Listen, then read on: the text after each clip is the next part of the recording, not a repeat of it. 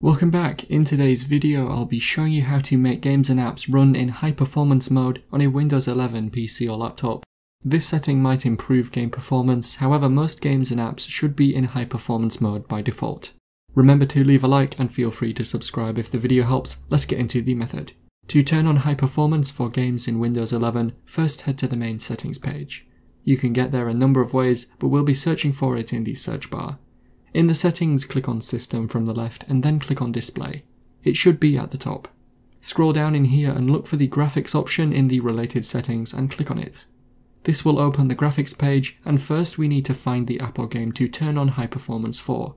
You can do this by looking down the list, by filtering for all apps, or you can add an app or game by clicking on browse and then by finding the game application file.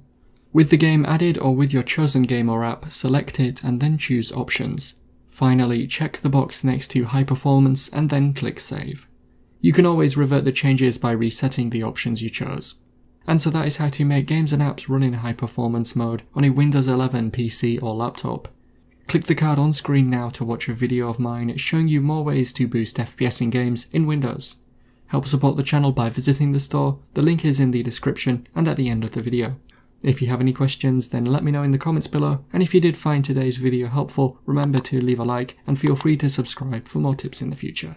Be sure to stick around to see some of my other videos that you might be interested in. Thanks so much for watching and I will see you in another video.